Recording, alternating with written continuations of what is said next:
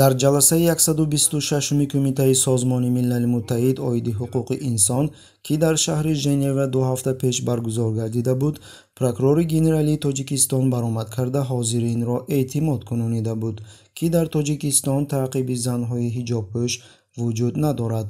Ҳамоно санаи 16 июл дар сомонаи иҷтимоии фейсбук яке аз истифодабарандагони сомонаи мазкур зери номи салмон холиқов навори видеоӣ аз ҷойи ҳодисаи рейди навбатӣ алайҳи либоси исломӣ нашр намуд.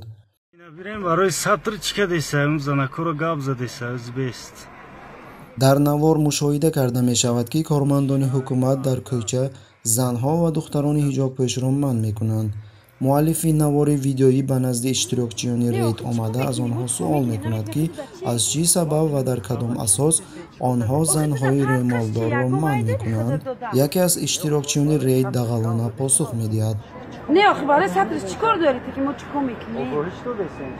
Мо вазифамона иҷро кардесте. Фармони ҷаноби олия ки сатр иҷоб дар тоҷикистон мумкин нест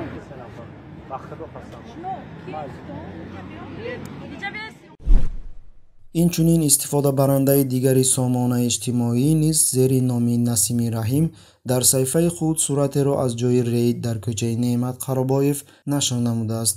Дар шарҳи зери нашри мазкур ӯ навиштааст ки дастгиршавии як гурӯҳ занҳои ҳиҷобпӯш дар кӯчаи неъмат қаробоев шоҳид гардидааст ки дар натиҷа дастгиршудагонро ба яке аз шӯъбаҳои вазорати корҳои дохилии ноҳияи сино интиқол намуданд